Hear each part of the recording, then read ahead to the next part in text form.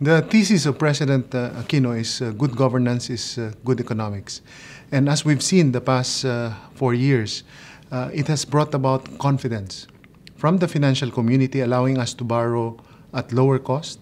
Uh, lower interest means we can use more of our money for more productive purposes. Lower interest means our corporates borrow cheaper also, which means that the required rate of return on investments is lower. That means the risk profile for new investments is lower. And that's made them more aggressive in terms of investing in the country. But more importantly, uh, good governance basically has made it more affordable for our people to buy cars, buy condominiums, because interest rates now are lower.